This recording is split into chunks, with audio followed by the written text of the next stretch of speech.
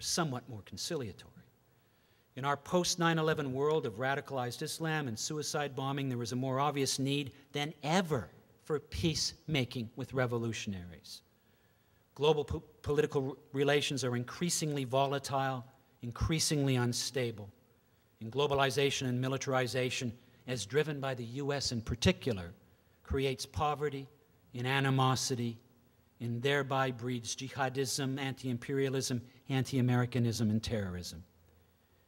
Peacemaking with revolutionaries is the work done by practitioners who use dialogue, negotiation, education, and other forms that make communication possible in order to resolve conflicts. Now, how do we get beyond terrorism? Because we know that the whole sort of lexicon of terrorism is now part of the structural unconscious of everyday life for U.S. citizens. To Israel and the U.S. government, for instance, Palestinian organizations are terrorists, but Palestinians and their defenders regard them as freedom fighters, posing a terrorist invasion and occupation of their homeland. How do we begin to develop peacemaking strategies in that context? In the 1980s, the Reagan administration championed the Contras as freedom fighters against the totalitarian state of Nicaragua. I put the totalitarianism in single quotation marks. Whereas Nicaraguans reviled them as U.S. sponsored terrorists who had killed thousands of innocents to overthrow their elected government. And the Contras murdered children and women purposefully targeted them.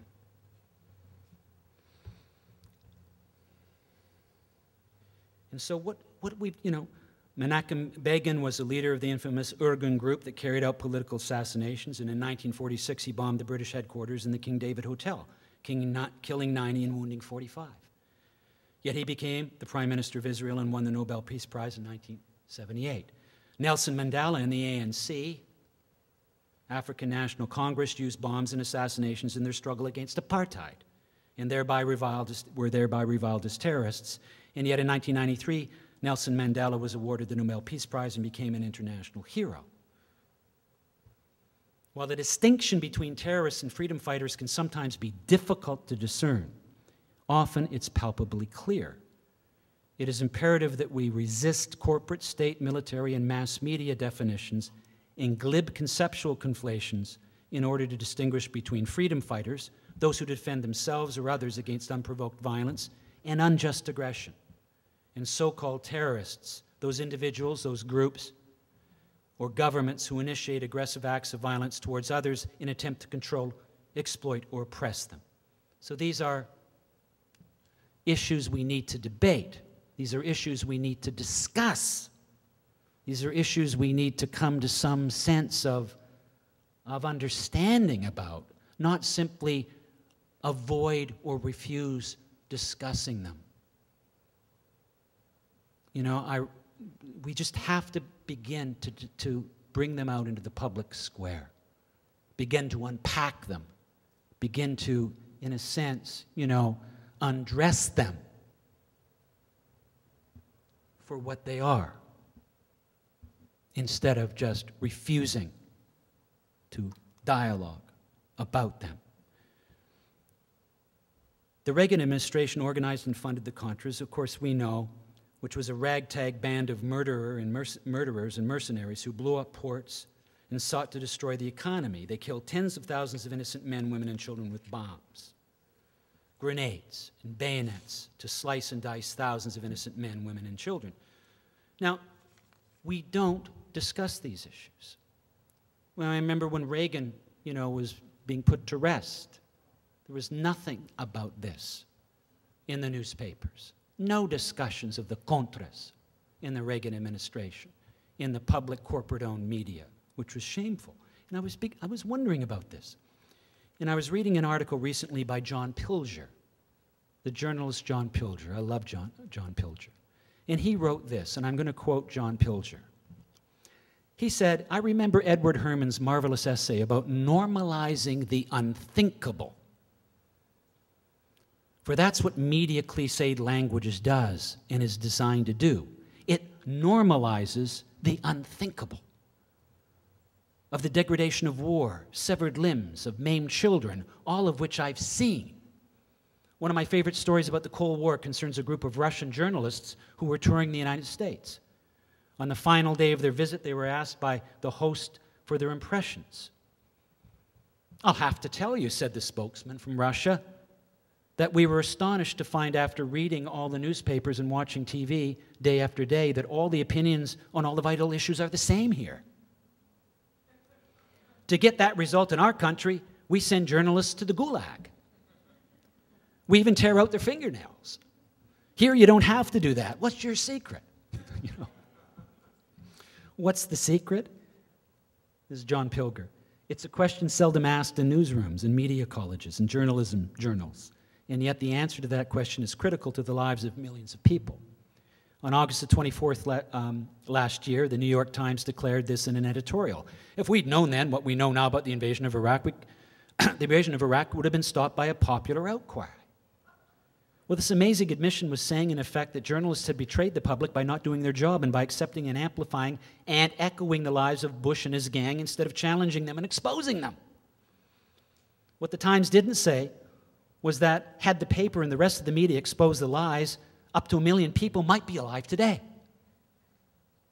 including thousands of U.S. military men and women, and hundreds of thousands of Iraqis would be alive today. That's the belief now of a number of senior establishment journalists. Few of them, they've spoken to me about it, few of them will say this in public. This is John Pilger. And he ends this by saying, I began to understand how censorship worked in so called free societies when I reported from totalitarian societies. During the 1970s, I filmed secretly in Czechoslovakia, then a Stalinist dictatorship. I interviewed members of the dissident group called Charter 77, including the novelist Zdener Urbanek. And this is what he told me. In dictatorships, we are more fortunate than you in the West in one respect. One respect. We believe nothing of what we read in the newspapers and nothing of what we watch on television because we know it's propaganda and lies. Unlike you in the West, we've learned to look behind the propaganda and to read between the lines. And unlike you, we know that the real truth is always subversive. Vandana Shiva has called this subjugated knowledge. The great Irish muckraker Claud Cockburn got it right when he wrote, Never believe anything until it's officially denied. One of the oldest cliches of war is that truth is the first casualty. No, it's not, says John Pilger. Journalism is the first casualty. Well, you know, I work in the, I'm going to, I've got, I think, four more minutes here, so I'm going to end on a note uh, on education. Because I work in the field of education. And we have to remember that Malcolm X said education is a passport to the future. And one of my great mentors was one of the person, um, persons that I had the opportunity to work with for a number of years. Uh, not intimately by any means, but I got a chance to work with him in person and spend some time with him, both in the United States and in Brazil, um, was Paulo Freire, a great Brazilian educator who wrote a book called Pedagogy of the Oppressed. And Freire did not, was a great admirer of Malcolm X. Of course, I'm a great admirer of Malcolm X. Um, but Freire took education, I think, sort of one step beyond the concept that education is a passport to the future. He agrees with what Malcolm said, but would add that the approach one takes to education is as important as the content. Thus, before one ventures off to become educated about revolutionaries, one must decide on the proper or ideal approach to take for research and comprehension. It's thus crucial to approach revolutionary groups, societies, or collectives through a respectful and non positional lens, which critical pedagogy favors, which Paulo Freire favors. This is a challenging approach that relies on dialogue and consciousness raising among all the groups involved. Our own approach relies on teaching how, in the words of Ramon Grosfoguel, the racial ethnic hierarchy